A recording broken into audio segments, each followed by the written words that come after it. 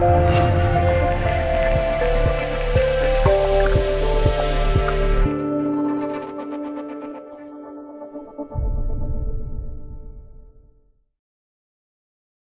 九九七年六月三十号午夜，全世界共同见证了一个历史时刻。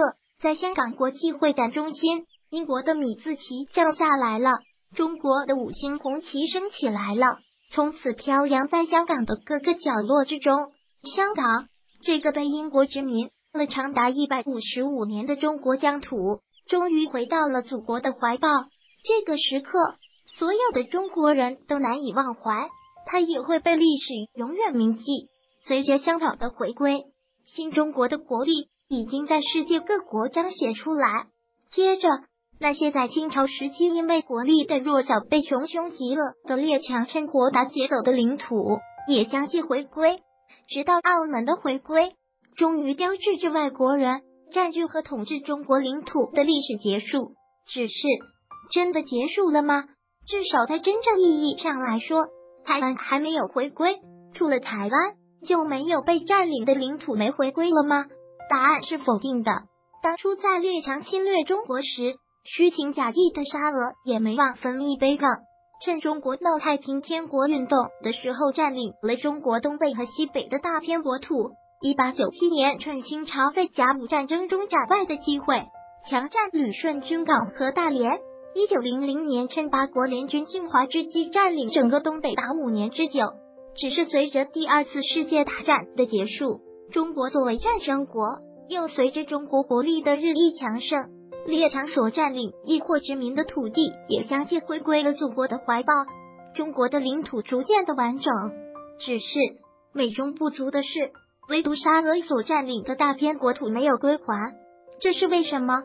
第一，地理方面，英国、法国等殖民主义国家在世界的大版图上与中国相距太远，并不接壤。中间还隔着广阔的海洋，自然在统治力方面就会相对较弱。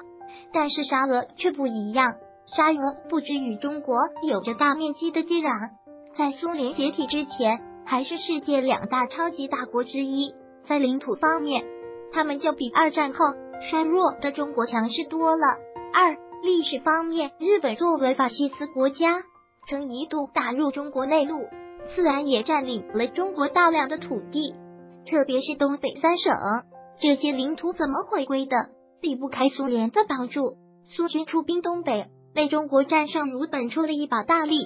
在之后，一九四五年美英苏三国签订的雅尔塔协议中，苏联占领外东北和库页岛，确保外蒙古独立的要求获得了美英的承认。国民政府最终也承认了雅尔塔协议的合法性。在这种情况下，中国就只能哑巴吃黄连了。第三，国家实力对比和国际格局方面，二战后备受日本摧残的中国早已是千疮百孔。在这个危难时期，中国曾一度需要苏联的工业和技术援助，在那个时期更是有老大哥支撑。苏联解体后，俄罗斯虽然经济不行，但仍具有强大的军事实力。面对美国的虎视眈眈，中国只能选择与俄罗斯友好，来抵消美国的围堵。